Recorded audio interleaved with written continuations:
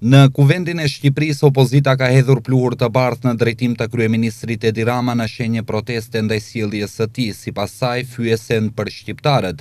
Autor ishte deputeti demokrat Flamur Noka. Në një moment, deputetët e opozitës kanë goditur me vezë ministrin e Jashtëm Bushati, i cili është kundërpërgjigjur duke i hedhur ujë. Më parë opozita kishte bllokuar Foltoren duke kërkuar me ngulm lirimin e banorëve të Kukësit që ishin arrestuar gjatë protestës së dhunshme në Rrugën e Kombit pak ditë më parë. Deputetët mbanin pankarta kundër kryeministrit Rama, Liro kukësianët, arresto kriminelët, ishin disa prej tyre.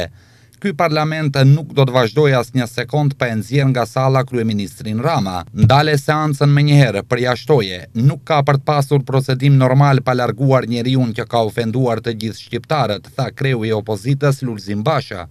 Kreu i parlamentit Gramoz Ruçi ka ndërprerë disa herë seancën. Më vonë ai lajmëroi se deputetët e opozitës, Noka, Salianji dhe Balliu janë përjashtuar nga seanca.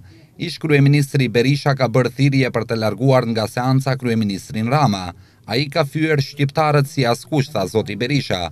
Tensioni në sallë është rritur ndjeshëm. Pas përfundimit të seancës së tensionuar të enjten, deputetët e opozitës u përpoqën të bllokonin daljen e eskortës së kryeministrit Edi Rama nga oborri i Kuvendit.